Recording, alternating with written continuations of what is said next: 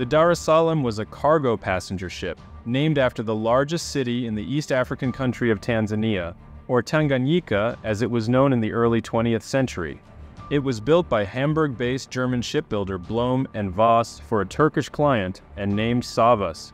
The ship was 121.79 meters, or 399.57 feet long, and 16.05 meters, or 52.65 feet wide, with a draft or minimum depth requirement of 6.62 meters, or 21.71 feet. The Dar es Salaam was built to accommodate 629 passengers and could hit a respectable top speed of 16 knots or 18.4 miles per hour. However, it was the outbreak of the Second World War, and the brand new ship was never delivered to Turkey. Instead, it served for a brief time as part of the Africa Line. It was then confiscated by the German Navy in 1941 and renamed the Dar es Salaam to be used as an accommodation or residential ship in Kiel Harbor on Germany's Baltic Sea coast. Before that, the Dar es Salaam was used by the Kriegsmarine as an auxiliary and target ship for the 26th U Flotilla in Pillau in what was then eastern Prussia. Pillau at that time was also a U-boat training facility. The ship then served with the U Flotilla in Memel from January 1, 1943 to July 16, 1944. The Dar es then became an S-boat escort ship before its final role as a residential ship for the Kriegsmarine. Just two months later, on September 16, 1944, it was hit by a bomb while berthed in Kiel Blucherbrücke, in which its bridge burned out. However, the greatest tragedy on board the Dar es would happen less than four months later. It too happened in Kiel Harbor, and it took place on a night in January 1945.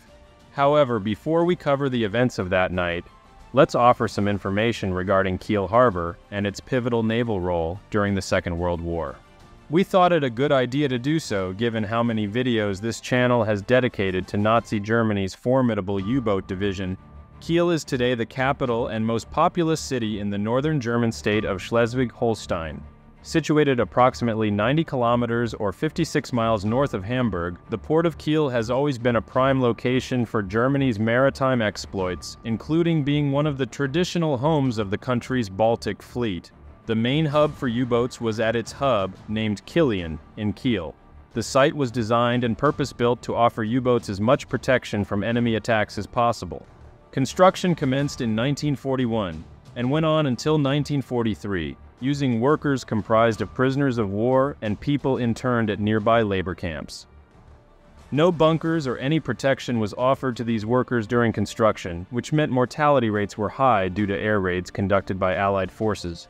The docking of U-boats at the facility was not possible. Instead, U-boats were kept afloat under a ceiling that consisted of pre-stressed concrete layers that were up to 15.75 feet or 4, 8 meters in thickness. The enclosed area or pen included two boxes each with a length of 150 meters or just under 500 feet, each containing berths that were over 138 meters or 453 feet per side.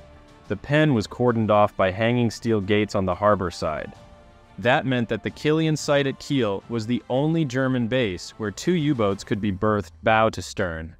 A minimum of 12 7C U-boats could be berthed at Kilian at any one time. The Kilian facility was finally consecrated on November 13, 1943, with U-1101 being the first U-boat to enter it six days later. 200,000 cubic meters, or over 656,000 cubic feet of concrete were used by the construction company, Dyckerhoff and Widmann AG, to build the U-boat facility. Such was the heavy construction of the facility that destroying it at the end of the war was no easy task. The last air raid had taken place at midnight on May 2, 1945, and Kilian lay in near ruins, Germany was near in defeat, and U-boat command had ordered that the remaining U-boats go out to sea or be scuttled.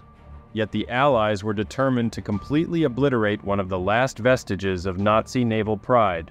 Preparations to do just that commenced on September 1, 1945, by the Guardian Division engineers under the leadership of Lieutenant Colonel E.N. Blickford.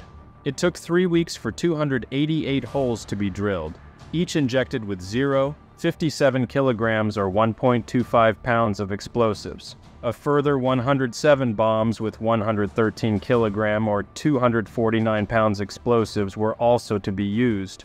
In all, 12.3 tons of explosives went off on October 25, 1945. That is what was needed to destroy the U-boat Kilian facility once and for all. Also destroyed were U-4708 and other small craft, which were buried under tons of concrete.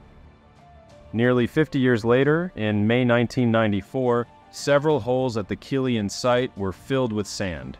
This was so that the possible explosion of any remaining explosives could be prevented. Besides a few stumps from the south gate entrance to the former facility, and submerged debris from its destroyed ceiling, little remains of what was once a major U-boat mooring and repair facility. And now let's return to that fateful night in January of 1945. We need to remember that living and working on board a U-boat was cramped at best, hellish at worst. Submariners would often go out for weeks and even months on patrol. That is why it was so important that they be allowed to rest and sleep in decent quarters when possible even when still on duty at Kiel Harbor. That was the value that an accommodation or residential ship such as the Dar es Salaam offered. A place for U-boaters to relax and recharge before the physical and mental rigors of re-entering the ocean depths in their steel tubes. That night of January 13, 1945, was unremarkable for those men staying on board the Dar es Salaam. There had been an air raid alarm earlier that night, and so the ship had been evacuated. The men then returned once the all clear was given, and some of them congregated in the entertainment room on board. This room was a large, semicircle space located just under the bridge.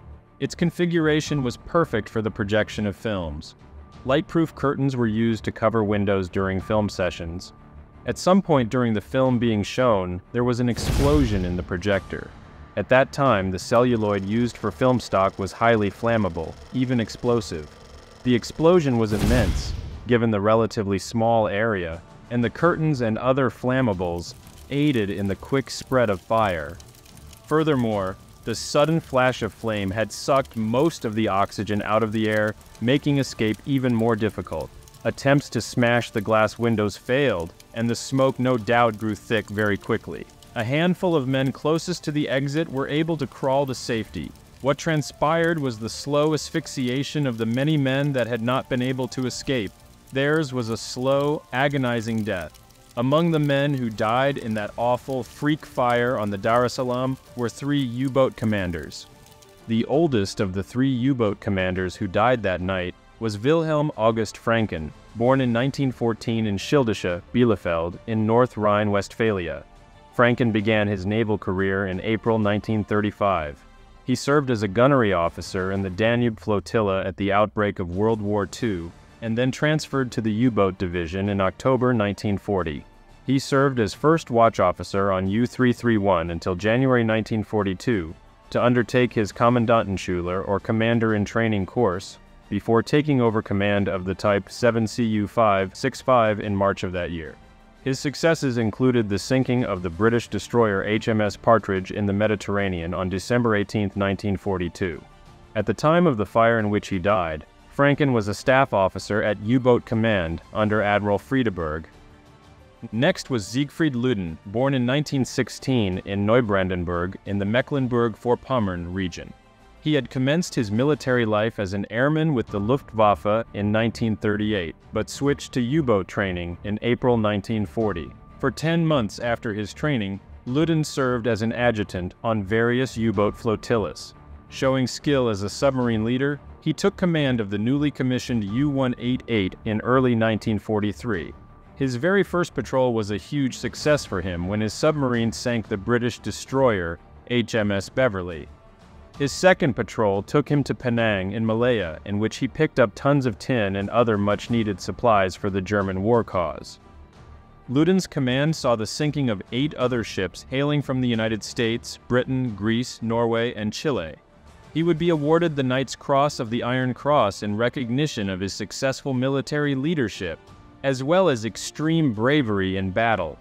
Lüdden would then be appointed to staff positions at the Lorient base in France, as well as Kiel.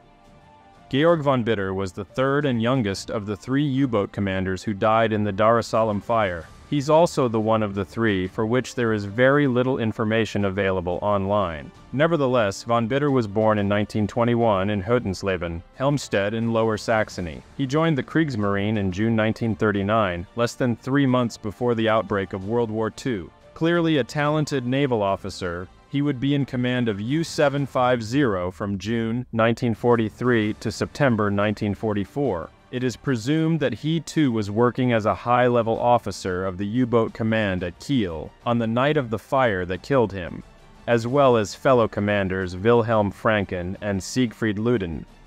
One thing that is striking about these three U-boat commanders is just how young they were.